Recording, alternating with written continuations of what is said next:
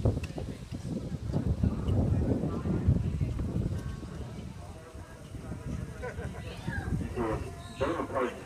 Number 2913, back on the second round. Ellie Ferrigno is the rider owned by Kristi Siam with Boneparte 3, 3913.